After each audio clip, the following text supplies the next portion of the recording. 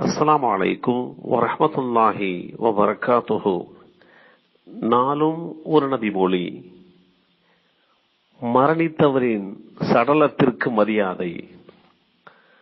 ஜாபிர் பின் அப்துல்லா அலியல்லாஹு அன்ஹு அவர்கள் அறிவித்தார்கள் ஒரு ஜனாசா அதாவது பிரேதம் எங்களை கடந்து சென்றது. உடனே நபிகள் நாயகம் சல்லல்லாஹு வசல்லம் அவர்கள் எழுந்து நின்றார்கள். நாங்களும் எழுந்து நின்றோம்.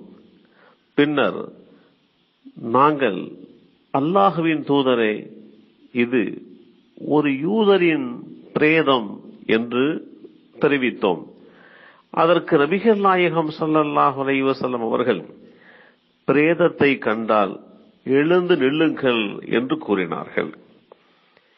இந்த செய்தி ஸ்வஹீஹுல் புகாரி என்ற நூலில் ஒன்று மூன்று ஒன்று ஒன்று என்ற எண்ணில் பதிவு செய்யப்பட்டுள்ளது.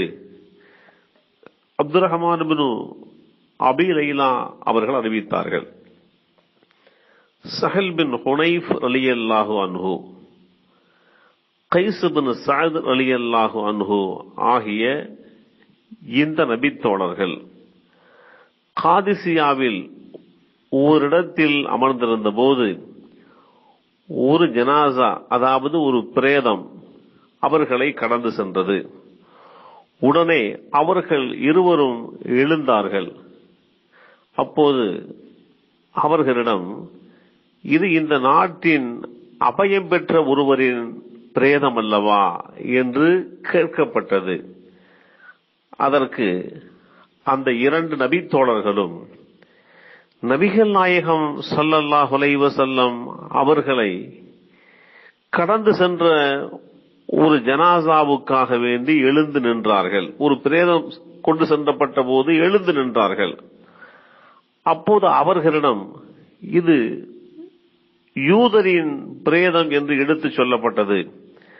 அதற்கு நபிகள் நாயகம் சல்லல்லாஹ் செல்லம் அவர்கள் இவர் மனிதர் இல்லையா என பதில் சொன்னார்கள். இந்த செய்தி சஹிஹுல் புகாரி என்ற நூலில் ஒன்று மூன்று ஒன்று இரண்டு என்ற எண்ணில் பதிவு செய்யப்பட்டுள்ளது. நபிகள் நாயகம் ரசூலுல்லாஹி சொல்லல்லாஹ் வசல்லம் அவர்களை ஜனாசா அதாவது பிரேதம் கடந்து செல்ல முற்படுகின்ற போது அதற்கு எழுந்து நின்றிருக்கின்றார்கள். தன்னுடைய தோழர்களையும் எழுந்து நிற்குமாறு சொல்லல்லாஹ் வசல்லம் அவர்கள் அறிவுறுத்தியிருக்கின்றார்கள்.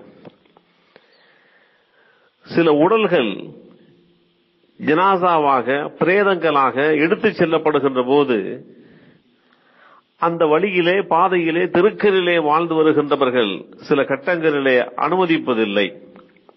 எங்கள் தெருவழியாக பிரேதங்களை எடுத்துச் செல்லக்கூடாது என்று ஒரே சமய கொள்கையை கொண்டிருக்கக்கூடிய மக்களுக்கு மத்தியிலே கூட பிரச்சனைகளும் சர்ச்சைகளும் அது சம்பந்தமாக நீதிமன்றங்களிலே வழக்குகளும் பதிவு செய்யப்பட்டிருக்கக்கூடிய நிலைப்பாடுகளை எல்லாம் நாம் அறிந்திருக்கின்றோம்.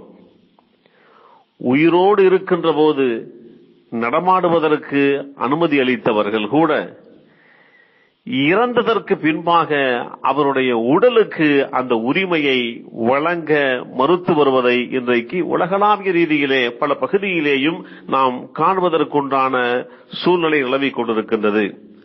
நபிகள் நாயகம் சல்லல்லாஹுலைவ செல்லமுடைய வரலாற்றை நாம் பார்க்கின்ற போது அவர்கள் ஆட்சி தலைவராக அந்த மதீனா மாநகரத்தில் இருக்கின்றார்கள்.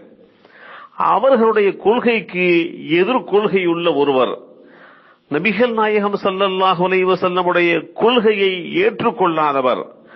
நபிகள் நாயகம் சல்லல்லாஹு அலைவ செல்லம் அவர்களை அல்லாஹுடைய தூதர் என்று ஏற்றுக்கொள்ள முடியாத நிலையிலே வாழ்கின்ற ஒருவர் மதீனாவிலே இறந்துவிட்ட போது அவருடைய சடலம் எடுத்துச் செல்லப்படுகின்ற போது நபிகள் நாயகம் சல்லல்லாஹு அலைவசல்லம் அவர்கள் தயக்கமின்றி அந்த கட்டத்திலே எழுந்து நின்று அந்த மனிதனுடைய உடலுக்கு உண்டான மரியாதையை இந்த உலகத்திற்கு எடுத்து காட்டிய செய்திகள் நபிமொழி தொகுப்புகள் நமக்கு தெளிவுபடுத்தி காட்டியிருக்கின்றது.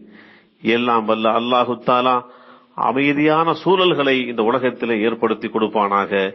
அஸ்லாம் வலைக்கும் வரமத்துல்லாஹி வபரகாத்துஹு.